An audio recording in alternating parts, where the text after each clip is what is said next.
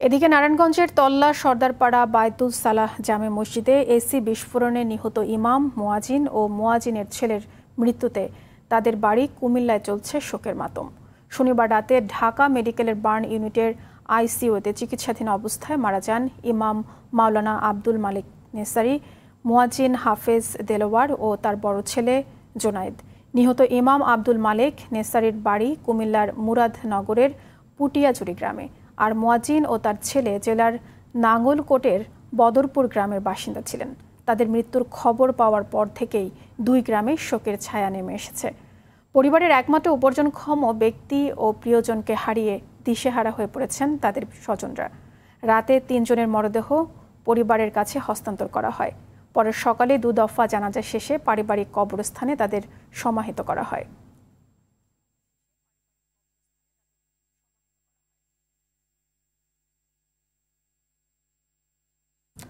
দর্শক, এই মুহূর্তে নারায়ণগঞ্জের ফতুল্লা থেকে সরাসরি যোগ দিচ্ছেন সহকর্মী আনোয়ার হাসান। আনোয়ার, মামলার বিষয়ে সবশেষ কি তথ্য রয়েছে আপনার কাছে এবং এবং এই নিয়ে পুলিশ কি বলছে জানাবেন?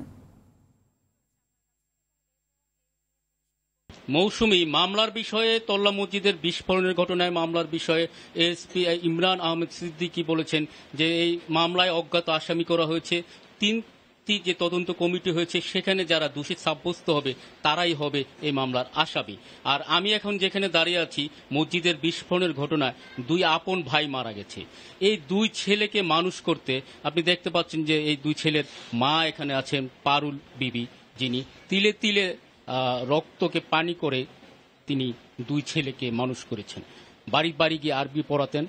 সে টাকায় আর স্বামীর দেওয়ায় কিছু সহযোগিতায় দুই ছেলে এক ছেলে স্নাতক ডিগ্রি শেষ করেছে, আরেক ছেলে এবারের এইচএসসি পরীক্ষা ছিল।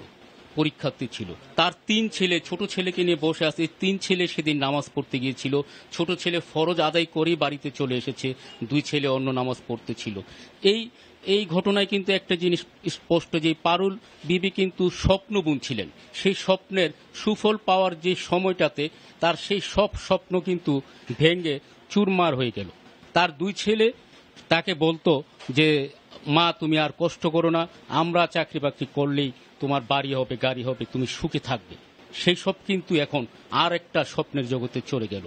তারা এই দুই ভাই আর কখনো ফিরবে না। এই তিনি নিশ্চিত হয়ে গেছেন। শুক্রবার থেকে যিনি কাঁদছেন, তিনি একেবারে বাকরুদ্ধ হয়ে গেছেন। কথা বলার মতো পরিস্থিতি নয়, অবস্থানে। পারুল বিবি মা আছেন পাশে। আমরা তার সাথে একটু যুক্ত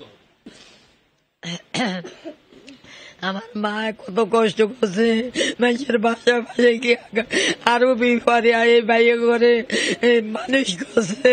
মানুষ করিয়া বাইরে করে